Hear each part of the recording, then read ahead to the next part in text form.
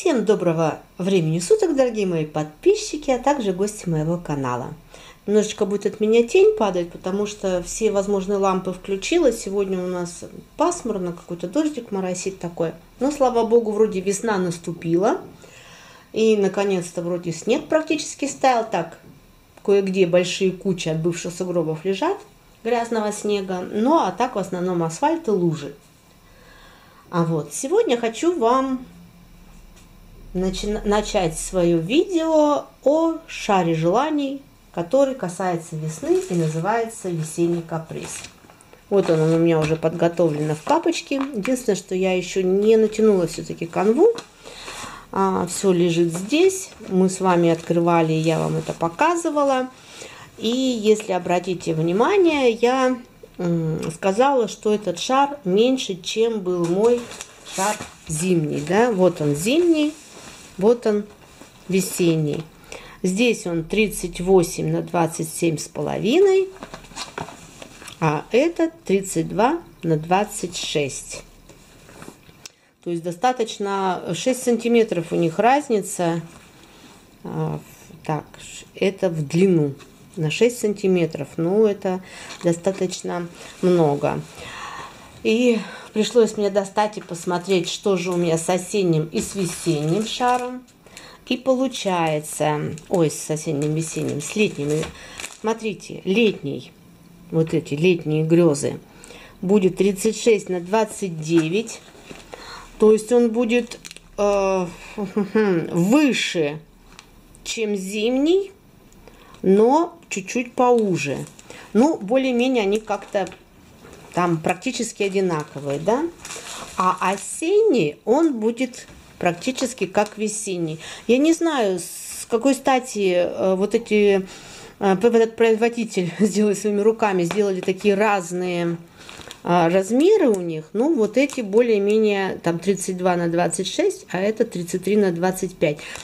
То есть осенний с весенним поменьше, и зимний с летним побольше. Может быть, они руководствовались тем, что это как бы основные два времени года, да, зима, лето, две противоположности. И весна, осень – это такие как бы переходящие, можно сказать, времена года. Ну и придется подумать, э, как мне их потом оформить, в какие рамки, чтобы повешать, чтобы сочетались. Наверное, придется их как-то в шахматном порядке, то есть большой и маленький, маленький и большой. Ну, вешать, я имею в виду, на стену, да, то есть, допустим, а, осень, э, вот так вот маленькие, маленькая осень и большая зима, а здесь, наоборот, большое лето и большая и маленькая весна. Ну, как-то вот так перекрестно, да, чтобы в общем, они на стене заняли какую-то одну площадь одинаково, но эти два поменьше, а эти два побольше по размеру.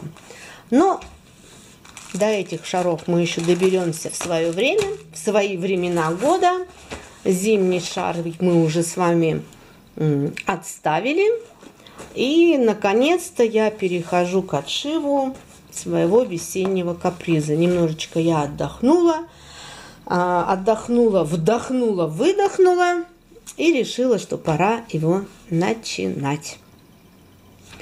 А, видео я не знаю, может быть я его разделю а, это по этому шару отчеты на два, то есть вот сейчас начало, и потом, когда я буду его весной, в конце весны заканчивать, ну, на том этапе, на котором он будет, конечно, заканчивать, я не имею в виду всю вышивку, навряд ли я за весну все это вышью, а вот, потому что есть много других интересных и захватывающих у меня процессов. Поэтому я сначала хотела это снимать все одним видео, наподобие как э, у зимнего чуда, у зимнего шара, и потом выложить все это в конце одним видео.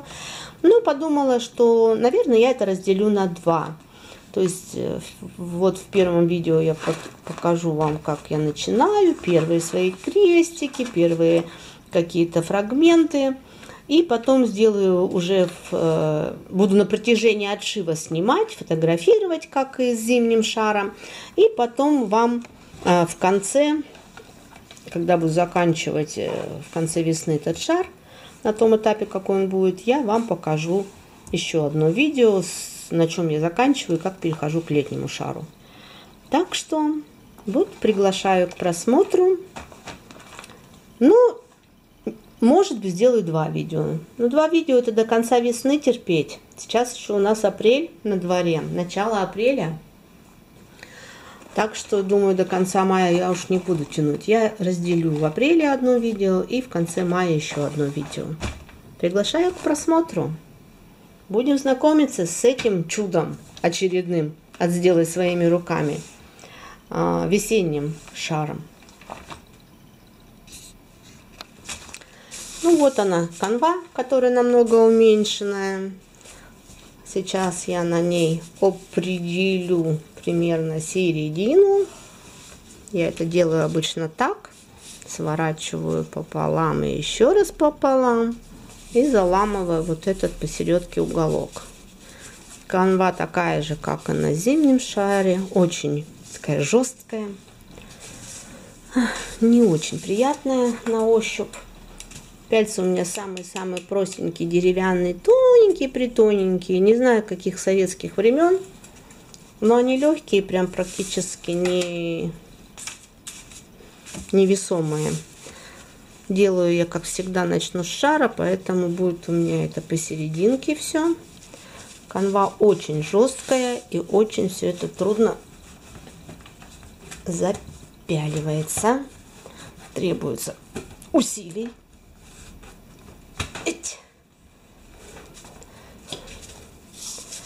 Ну, так, сместилась. Вот у меня серединка, где получилось.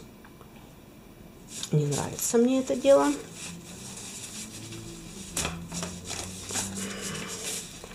А, у меня в последнее время такие хрупкие ногти. Что-то мне не хватает, наверное, жидкости в организме. Вот. И я боюсь, что я сейчас все попереломаю, пока я смогу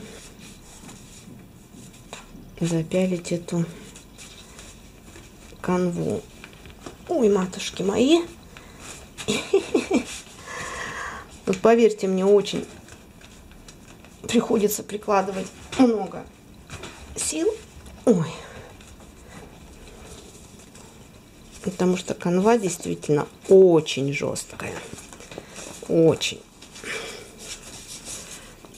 Но зато практически не приходится подтягивать ее вот в этих пяльцах, потому что она не ерзает, такая жесткая канва, она стоит тут прям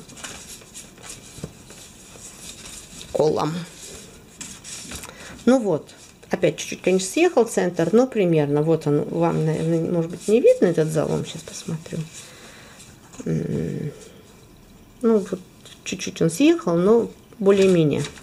Более-менее серединка есть. Сейчас я ее иголочку пока не ми... или я ее поменяю. А, да, я же, я же, я же, я же, я же иголку брала. Вот эта иголка родная от набора с золотым ушком. А вот эту иголку я брала, я ею вышивала. Она пошире, это я ее брала Одну я сломала на осеннем шаре желаний. Эту иголку я уже брала, она как китайская, она потолще сама по себе, потому что канва очень жесткая. И нитки тут не очень приятные на ощупь, такие бумажные, я уже говорила. Поэтому эта иголка больше дырочка получается, и лучше ниточка потом идет. Ну, посмотрим.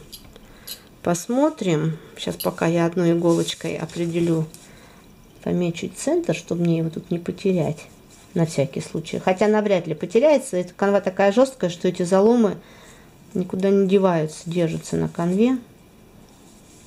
Вышивать в два прокола тут бесполезно. Вот видите, я даже просто иголку не могу в два прокола проколоть, потому что очень жесткая канва. Ну вот тут вот серединка, не совсем она у меня получилась по центру, но немножко сдвинута сюда в бок. Ну вот, и практически можно садиться и вышивать. Единственное, что мне нравится э, в этих органайзерах у них, что здесь над цифрами есть дырочки. И вот я сейчас э, ихнюю закладку делаю. Помните, у меня такие закладки были домики? Сейчас я вам ее покажу. эту закладку. Там такие же органайзеры, потому что набор тоже сделай своими руками. И когда ниточку я отсюда выдергиваю, и у меня на иголке остается достаточно длины, чтобы можно было еще какие-то крестики ей вышить, я ее вешаю над э, этим же цветом. Так, э, не знаю, стоит ли мне... Я тут раз значки рисовала. Наверное, я сейчас тоже сделаю из ключа. Сюда эти значки перенесу. Ключ я уже отрезала, он вот он отдельно. Э, в этом наборе удобно он был с одной стороны. В прошлом наборе он был с двух сторон. Мне пришлось выгрызать такие клочки из схемы с двух сторон. Здесь он был с одной стороны, и я его уже, этот ключ э, с инструкцией отрезала. Поэтому э, вот эти все значочки, которые есть в ключе, вот они, я их сейчас перенесу на органайзер напротив каждого цвета. Только те, которые вот просто, где крест в две нити. Вот эти вот э, полукрест, бэк стич я, конечно, переносить ну, не буду никуда. Эти значки не буду переносить, я буду на схеме только ими пользоваться. Так, займусь сейчас рисованием. Так, нарисовала я значки. И хочу обратить внимание девочек, кто тоже будет вышивать эти шары. Но еще не вышивал. Смотрите, а, какая тут фишка, пока я рисовала эти значки, что я обнаружила. А, ну, так как здесь значки, схема цветна, цветосимвольная, то получилось, что есть, допустим, одинаковые значки. Я-то рисовала просто значки. Смотрите, вот 3 и вот 3. Они отличаются только цветом. То есть вот э, это сухая роза номер 5 с тремя точечками. И коричневые, это тоже три точечки, только они беленькие на темно-коричневом фоне. А, то есть надо быть внимательным. Ну, думаю, на схему, когда смотришь, то ничего страшного. Теперь дальше смотрите. Я взяла палетку, села и давай рисовать подряд. Да? Там, где пусто, я, естественно, вот 7 пусто, просто вишневый, я пропускала. И рисую, рисую, рисую, рисую, до сюда вот дошла и понимаю, что что-то тут я рисую уже не то. Сейчас покажу, вот тут у меня вот ошибка. Смотрю внимательно на схему, а тут 21, 22, 23, 24, 25. Ой, 25 нет, пошло 26. А я-то рисую подряд. У меня-то тут 25 есть. Я вернулась назад. Давай вот сравнивать вот тут вот с 20 чисел эти значочки. Думаю, где же я ошиблась? Вот 23, смотрю. Давай уже и по цветам проверять. 23, вот 24. Какой он тут он у нас гиацинтовый. Потом светло-розовый. Вот он 26, он идет 26. А 25, видите, какой-то такой ну, синий, грубо говоря. Давай я искать, в чем проблема. Давай я уже просто по цвету вот э, этих квадратиков искать, где же у меня вот такой цвет на ключе. Оказалось, он вот он, фиолетовый, с буквой, вот таким символом буквой У. Зачем было так заморачиваться, я не поняла. Ну и сделали бы тут вот подряд 25-26 вот здесь, а это у них полукрест в две нити. Понятно, что какие-то цвета, вот допустим вишневый, э, где крест, он, этот цвет вышивается. Так, сейчас, давай камеры, не надо желтить. Он тут нет никакого значка, вот он 7, и этот же вишневый здесь. Но чтобы было понятно на схеме полукрест две нити, он будет со значком. Но почему бы нельзя было сделать, я так понимаю, что просто 25 цвета э, здесь не будет две нити крестом, а только полукрест. Но как-то можно было бы тогда здесь сделать э, подряд, а тут ему какой-то номер, я не знаю, там 38 присвоить или еще что-то. Ой, ну, в общем, производители сделали своими руками не ищут легких путей. И нам не дают расслабиться, а включать свою голову, включать свое внимание. Так что здесь я ошиблась, потом мне пришлось тут вот перекраивать. Ну, ничего страшного. И еще один значочек, тоже где точечка. Это вот этот вот белая точечка на черном фоне и черная точечка на белом фоне. То есть э, начало палетки у меня идет с точечкой. И вот на второй палетке последний цвет это тоже точечка. Для меня они будут выглядеть одинаково, но по схеме, конечно, белый и черный не перепутаешь. Вот так. Веселимся, уже начинаем веселиться. Нитки, конечно, цвет красивый. Это я говорила и в, осень, в зимнем шаре. Что ж меня куда-то на осень все несет-то, еще лета не было. Вот, то есть очень мне понравился вот этот э, цвет, вот лимонный такой вот. Хотя лимонный почему-то написано ну да, вот этот лимонный, а это лайм. Вот лайм прям вообще такой приятный, приятный, светло-светло-зелененький такой. Действительно цвет лайма. Но остаюсь при своем мнении. На ощупь они такие прям бумажные.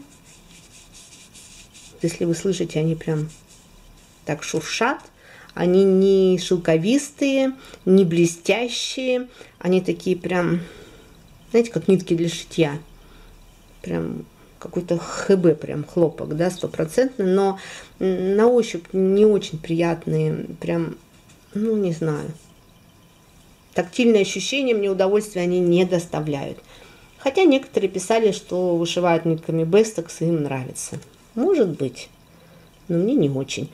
Может быть, еще потому, что у меня очень э, сухая кожа на руках. У меня я уже это не раз показывала, вот у меня очень такие вот проблемные эти места, и вот эти нитки, они, конечно, будут у меня вот за все, за, за все, за вот это мое цепляться. Вот, ну, ладно.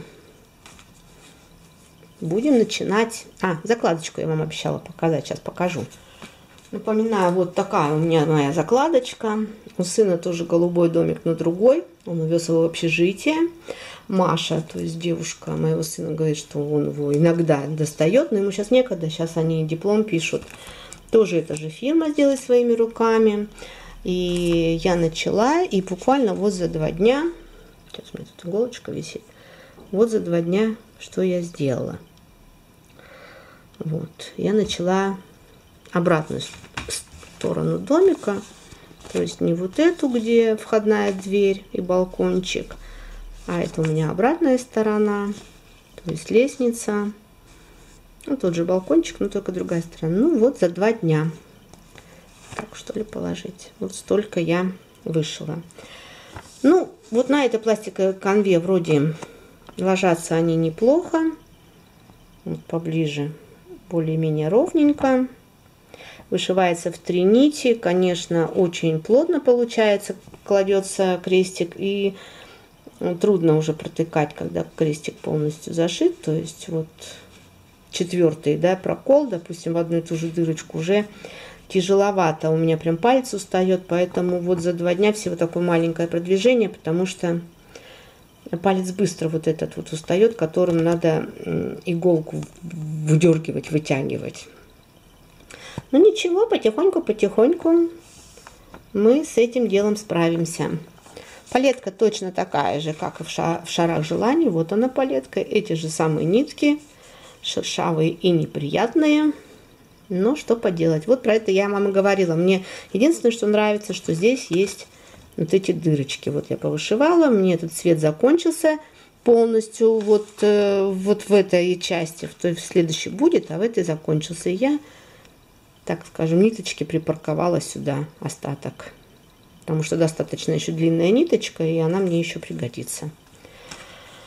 Так, ну вот, пока на этом все. Сейчас начну вышивать шар желаний.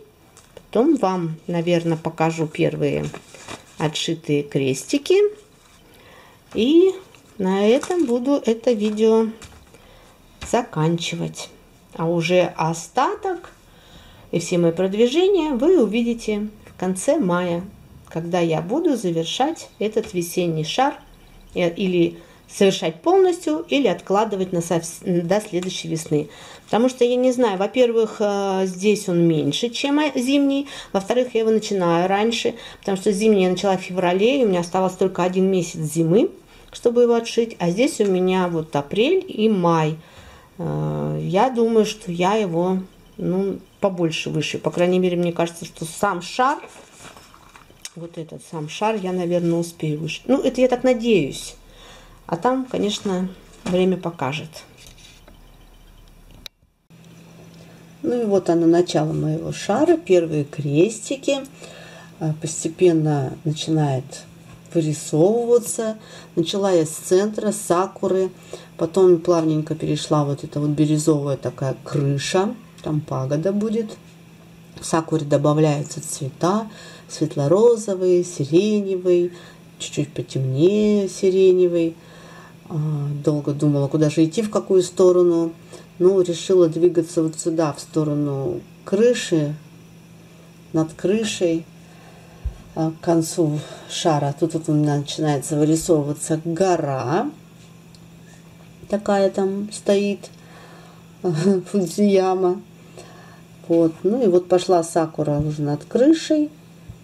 Постепенно все это продвигается. А, красота начинает вырисовываться. Добавляется все больше красок. Вот желтенький появился, зелененький цвет такой достаточно приятный. Ну и, пожалуй, сейчас уже увидите видео. Ну что, наступил и момент посмотреть уже вышивку. Начальные крестики, и даже далеко не совсем начальные, а вот сколько я уже сделала. Сейчас, наверное, отодвину немножко. Смотрите, вот эту схему лощеную, я в шаре желания зимним говорила, что такая лощеная схема, которая очень-очень неудобно зачеркивать. Я пробовала там зачеркивать а, ручкой шариковой, но тоже она скользила. Задалась, э, задала мужу нет, не так, не задала мужу. Короче, спросила мужа, если у него черный маркер, он сказал нет. Но потом Короче, мальчики мои обо мне беспокоятся. Он загрузил сына, э, позвонил ему, сказал, будешь домой ехать, купи маме маркер, потому что маме неудобно зачеркивать надо схему лощеной бумагой. Мне сынок привез, купил вот такой вот обыкновенный перманентный маркер – Потому что муж говорит, сначала маркер тоже будет скользить. Я говорю, ну это же не фломастер, перманентно не будет.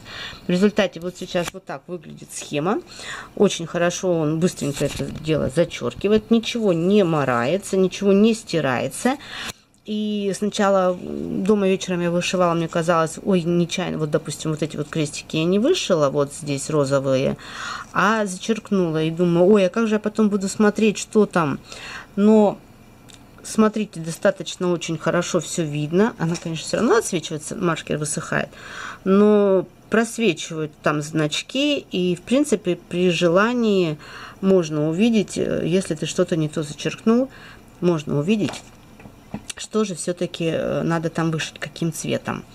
Итак, смотрите, показываю. Вот столько у меня отшито. На этом я это видео буду заканчивать. Э, покажу вам потом в конце мая, что я к чему приду. Я вот тут уже вот эту сакуру, гору начала. И вот эта сакура вышла. И даже вот э, от этой пагоды у меня уже крыша, да, крыша от этой пагоды, вот это, наверное, окошечки, я так думаю. Ну вот, э, смотрите, что хотела сказать. Ну вот, повеселее все-таки он, вышивается весенний этот каприз, чем зимний шар. Кстати, о зимнем шаре. Получила тут два комментария. По-моему, они от одной и той же э, девушки, женщины.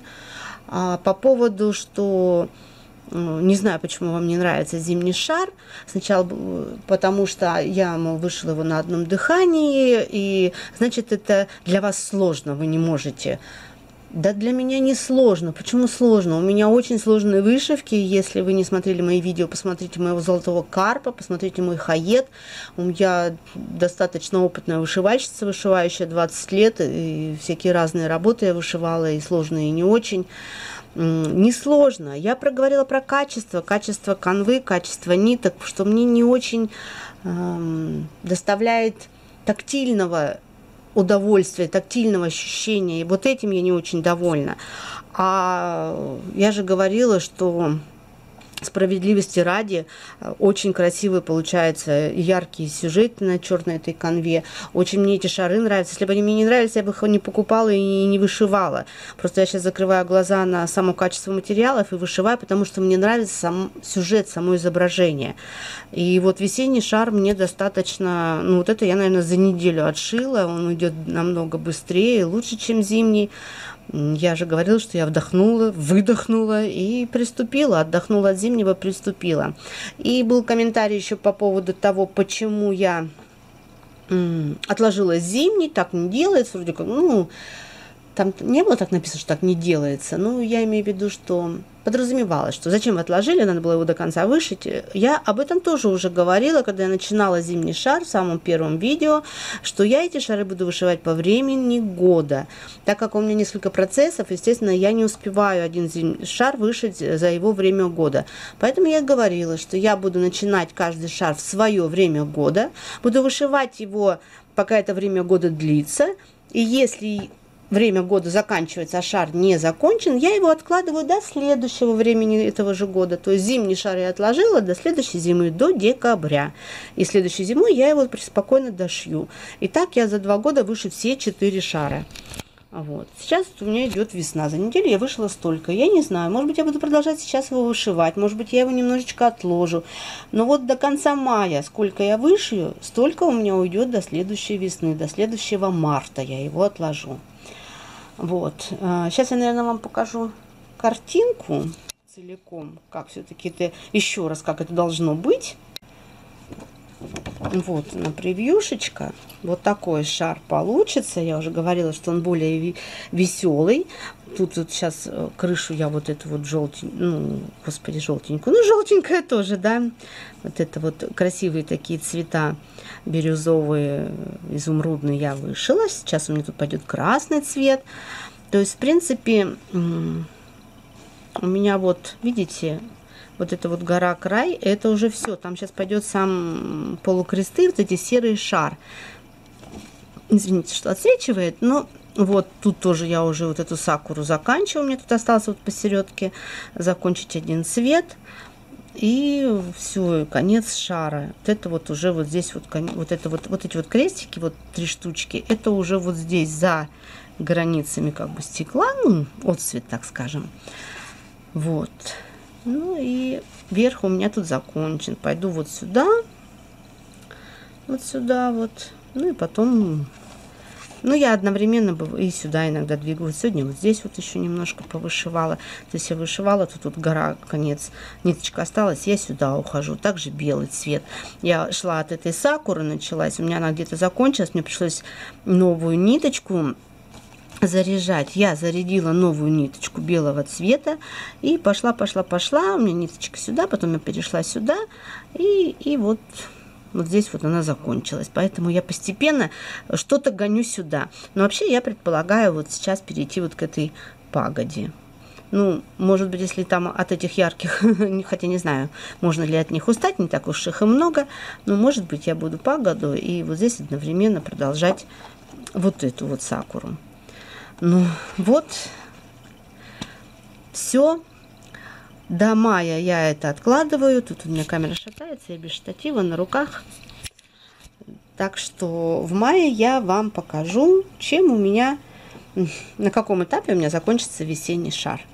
Ну, я уже говорила, что я, в принципе, предполагаю, что весь шар я вышью. Может быть, я вот останутся у меня вот эти полукресты, вот этот вот ореол. Но я, наверное, я думаю, ну если я вот это вот, считайте, вышила, это же почти четверть шара.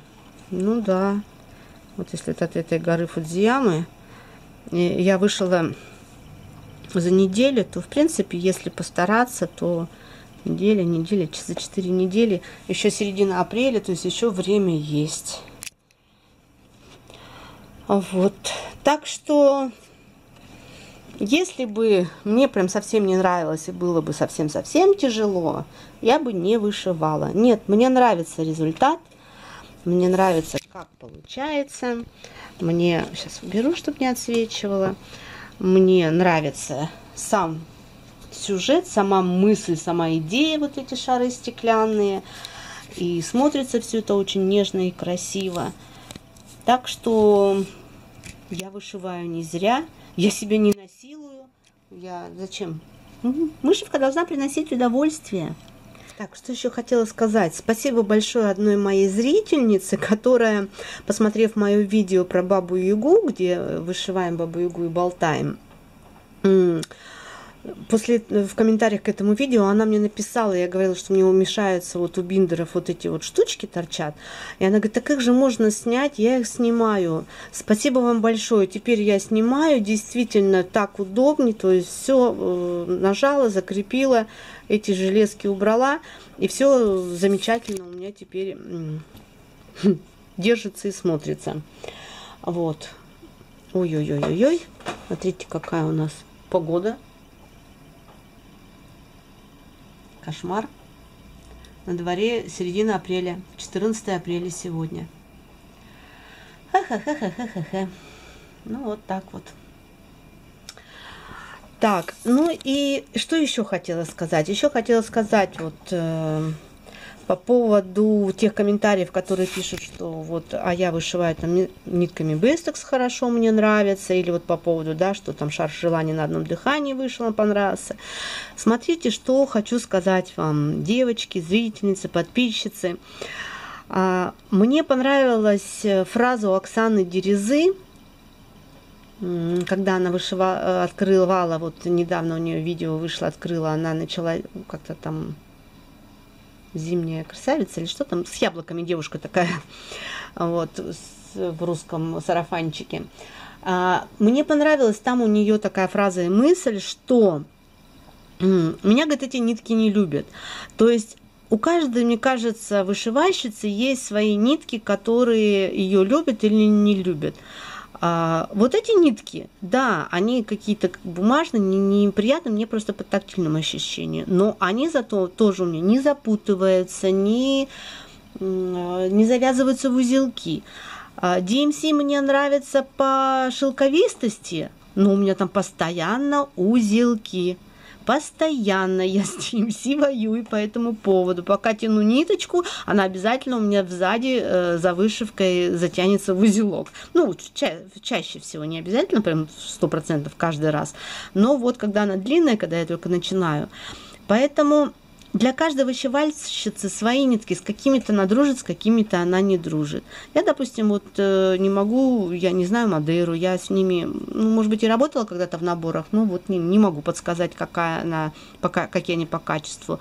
С гамма я дружу, хотя ну уж куда лучше DMC, правда? Но вот они у меня завязываются. Но они мне нравятся по ощущениям.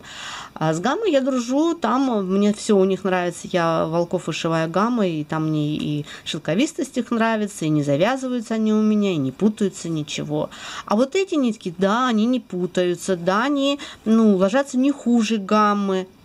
Сейчас сфокусируются. Ну, опять же, какие-то цвета какие-то цвета. Вот смотрите, вот этот вот поровнее, вот бирюзовый, изумрудный ложились. Белые как-то у меня э, похуже укладываются, не знаю почему. Вот. Но мне не нравится, что они на ощупь бумажные. Мне не нравится, что они, э, как сказать, пушатся или как-то вот, э, не скажу перетираются, но они вот такую ворсистость дают. Видите, какие-то они как ведь они же не шерстяные, ХБ, а они вот такую вот ворсистость вот на белых вот этих крестиках дают. И такие катышки на них образовываются. Я постоянно эти катышки убираю. То есть туда-сюда от прохождения через жесткую канву они скатываются, катышки на них. Вот это мне не нравится. Поэтому я не говорю, что именно... Э, как сказать, не хаю сами эти нитки. Для кого-то, может быть, они замечательны, но я с ними не дружу. Не подружилась, так скажем. Вот. Не подружилась. Так выглядят мои крестики. Где-то они не совсем ровненькие, но вот они, вот они, вот они. Все. На этом я прощаюсь до конца мая. Ну или, может быть, в начале июня я его покажу. Когда и буду заодно тогда и летний шар открывать. Всем пока-пока. До встречи в следующих эфирах.